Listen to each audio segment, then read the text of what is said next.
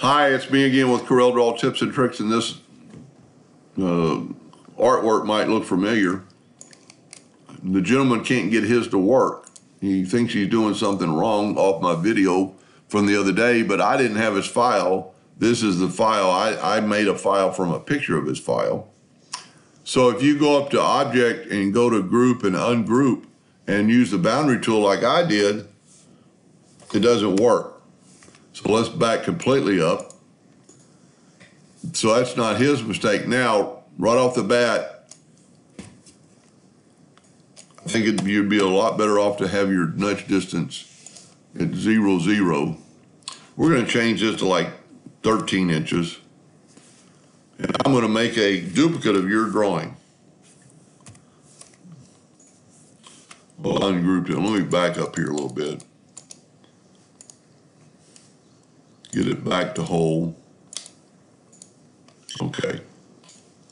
We'll have to, and when you back up, you actually change that back. We're gonna make the nudge distance 15 inches.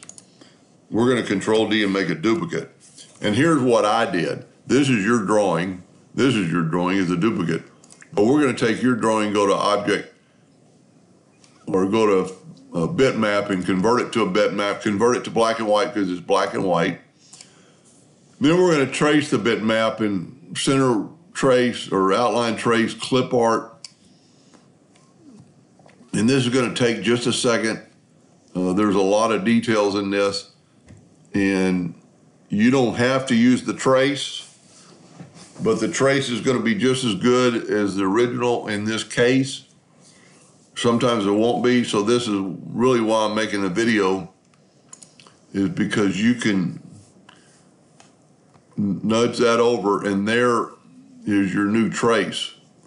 And if we get rid of the bitmap and move this over, I don't think you can tell the difference.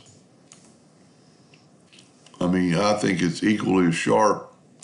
You know, if you look at that versus that, so you could use the bitmap, but we're not going to because I'm going to show you how to get the outline from here. So now we're going to go to object and group and ungroup and then use the boundary tool. And voila, there's our boundary. Now you're using maybe, sometimes I get files, I get their settings, maybe not. I'm going to double click on that. I'm going to turn it to, see the CMYK. I'm going to turn it to RGB. Now, if you're a printer, don't worry about setting these back but then we're going to set it to a hairline. Now you have a cut line, and because we use the nudge tool, we can nudge it right back on top of your artwork. So now you have your artwork with a cut line around it.